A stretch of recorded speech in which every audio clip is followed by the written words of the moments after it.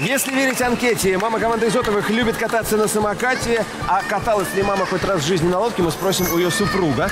Э, Ну что, волнительно вам? Очень волнительно, потому что у нее сегодня дебют на, на сией лодке прокатиться.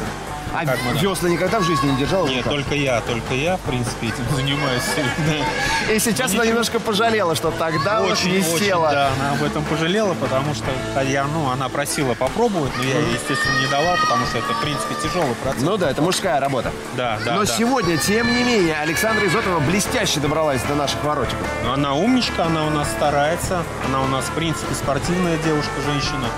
Она очень старается, это видно. Это видно по движению. По движениям, Видно, да. что она абсолютно не растеряна. Да, и это не очень растерянная, здорово. Это очень главное, это самое главное, что она не нервничает, ничего вроде. Смотрите, как. конкурентка подбирается. Наташа, давай, давай, кричит ее супруг Аркадий. Я знаю, что вы энергоаудитор. Как вы считаете, достаточно ли энергии осталось у вашей супруги? Да, я думаю, что еще достаточно. Еще достаточно? Пора переходить на третью, Да, вот четвертую уже. скорость. Э, Надо как-то Вот она, догонять. она включилась, включилась уже. Включилась в процесс. Это тактика такая, Аркадий, поведайте. Может быть, сначала пустить пыль в глаза конкурентам, мол, мы слабые, вы там идите вперед, у нас второе место. Да, может, может быть и удача, удача, да. Как практически. Наташа, давай, давай, давай, Наташа. Мы смотрим Давай, на давай, финиш. Вперед, чуть-чуть, еще вперед. немножко, вперед, давай, давай,